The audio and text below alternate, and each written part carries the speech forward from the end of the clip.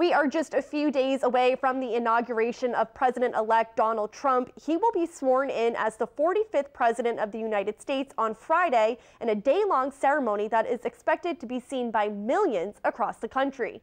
Our Andy Mattison joins us with a look at what to expect on Friday. Andy?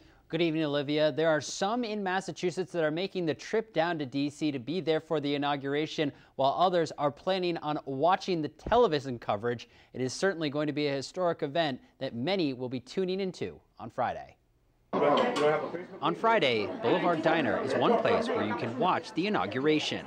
We'll have it here uh, on the TV all day, so whoever would like to come in and have coffee or breakfast, you're more than welcome to and watch it. I'll probably be at my office watching it. The inauguration of Donald Trump is expected to draw a lot of interest all across the political spectrum. I personally would not vote for him, but you know he is the president, so congratulations. Hopefully he does a good job and does what he said he was going to do. While some politicians are not planning on attending the inauguration in D.C. on Friday, those things are very, very troubling. Congressman Jim McGovern is planning to be there, despite being highly critical of President-elect Donald Trump both during and after the election. I've attended every inauguration um, since I got elected to Congress. Uh, presidents I agree with and presidents I, I, I didn't agree with. Um, you know, I, I, I, would be lying to you if I didn't tell you I have mixed emotions because of some of the things that Donald Trump said during the campaign. It's a feeling State Senator Michael Moore agrees with. This is not about Donald Trump.